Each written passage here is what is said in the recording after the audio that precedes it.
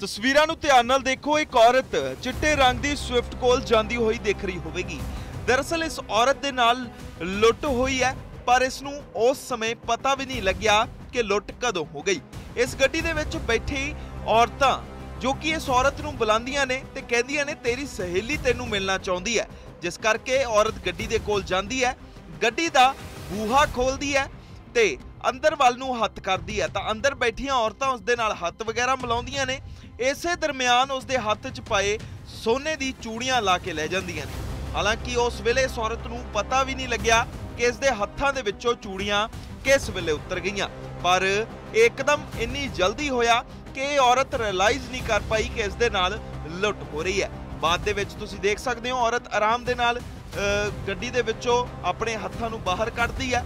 ਆਪਣੀ ਪਿੱਛੇ ਆ ਰਹੀ ਕੁੜੀ ਦੇ ਨਾਲ ਐਕਟਿਵਾ ਤੇ ਬੈਠਦੀ ਆ ਤੇ ਚਲੀ ਜਾਂਦੀ ਹੈ ਬਾਅਦ ਦੇ ਵਿੱਚ ਇਸ ਨੂੰ ਪਤਾ ਚੱਲਦਾ ਹੈ ਕਿ ਇਸ ਦੇ ਹੱਥਾਂ ਦੇ ਵਿੱਚ ਤਾਂ ਜਿਹੜੀ ਸੋਨੇ ਦੀਆਂ ਚੂੜੀਆਂ ਪਾਈਆਂ ਸੀ, ਉਹ ਹੈ ਹੀ ਨਹੀਂ। ਤਾਂ ਇਸ ਦੇ ਵੱਲੋਂ ਸੀਸੀਟੀਵੀ, ਜੋ ਕਿ ਇੱਕ ਪੈਟਰੋਲ ਪੰਪ ਤੇ ਲੱਗੇ ਹੁੰਦੇ ਨੇ, ਉਹਨਾਂ ਦੇ ਵਿੱਚੋਂ ਚੈੱਕ ਕਰਵਾਇਆ ਜਾਂਦਾ ਹੈ। ਤਾਂ ਸਾਫ਼ ਪਤਾ ਚੱਲਦਾ ਹੈ ਕਿ ਚਿੱਟੇ ਰੰਗ ਦੇ ਸਵਿਫਟ ਦੇ ਵਿੱਚ ਬੈਠੀਆਂ ਇਹ ਔਰਤਾਂ ਇਸ ਔਰਤ ਦੇ ਨਾਲ ਲੁੱਟ-ਖੋ ਕਰਕੇ ਲੈ ਗਈਆਂ ਨੇ। ਤਾਂ ਤਸਵੀਰਾਂ ਤੁਹਾਨੂੰ ਦਿਖਾ ਰਹੇ ਹਾਂ ਫਿਰੋਜ਼ਪੁਰ ਦੀਆਂ, ਜਿੱਥੇ ਕਾਰ ਸਵਾਰ ਲੁਟੇਰੀਆਂ ਨੇ ਇੱਕ ਔਰਤ ਨੂੰ ਸ਼ਿਕਾਰ ਬਣਾਇਆ ਹੈ ਅਤੇ ਉਸ ਦੇ ਹੱਥਾਂ ਦੇ ਵਿੱਚ ਪਾਈਆਂ ਚੂੜੀਆਂ ਲਾ ਕੇ ਲੈ ਗਈਆਂ ਨੇ। ਤਾਂ ਤਸਵੀਰਾਂ ਨੂੰ ਗੌਰ ਦੇ ਨਾਲ ਦੇਖੋ ਤੇ ਸਾਵਧਾਨ ਰਹੋ।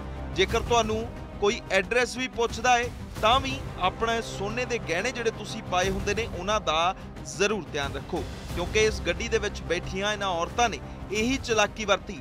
ਇਸ ਔਰਤ ਨੂੰ ਬੁਲਾਇਆ ਅਤੇ ਕਿਹਾ ਕਿ ਕੋਈ ਔਰਤ ਤੈਨੂੰ ਮਿਲਣਾ ਚਾਹੁੰਦੀ ਹੈ। ਤੇ ਕੁੜੀ ਚਲੀ ਗਈ। ਪਿਛਲੀ ਸੀਟ ਤੇ ਬੈਠੀ ਇੱਕ ਔਰਤ ਨੇ ਇਹ ਵੀ ਉਸ ਨੂੰ ਕਿਹਾ ਕਿ ਤੇਰੀ ਸਹੇਲੀ ਤੈਨੂੰ ਮਿਲਣਾ ਚਾਹੁੰਦੀ ਹੈ।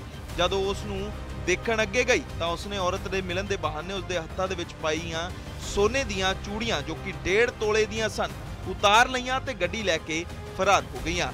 ਉਹਨਾਂ ਮੰਗ ਕੀਤੀ ਹੈ ਕਿ ਇਹਨਾਂ ਲੁਟੇਰੀ ਔਰਤਾਂ ਨੂੰ ਜਲਦ ਤੋਂ ਜਲਦ ਕਾਬੂ ਕੀਤਾ ਜਾਵੇ, ਕਿਉਂਕਿ ਦੇਖ ਸਕਦੇ ਹੋ ਕਿ ਅੱਗੇ ਤਾਂ ਤਸਵੀਰਾਂ ਸਾਹਮਣੇ ਆਉਂਦੀਆਂ ਨਹੀਂ ਸੀ ਕਿ ਲੁਟੇਰੇ, ਜੋ ਕਿ ਮੁੰਡੇ ਨੇ, ਨੌਜਵਾਨ ਨੇ ਨਸ਼ੇ ਦੀ ਪੂਰਤੀ ਦੇ ਲਈ ਲੁੱਟਖੋ ਕਰ ਰਹੇ ਨੇ, ਪਰ ਹੁਣ ਔਰਤਾਂ ਨੇ ਵੀ ਉਹੀ ਕੰਮ ਸ਼ੁਰੂ ਕਰ ਦਿੱਤਾ ਹੈ ਭੋਲੀ ਪਾਲੇ ਲੋਕਾਂ ਨੂੰ ਆਪਣੇ ਜਾਲ ਦੇ ਵਿੱਚ ਫਸਾ ਕੇ ਇਹ ਔਰਤਾਂ ਦੇਖੋ ਕਿਵੇਂ ਲੁੱਟ ਕੇ ਲੈ ਗਈਆਂ ਡੇਢ ਤੋਲੇ ਦੀਆਂ ਚੂੜੀਆਂ।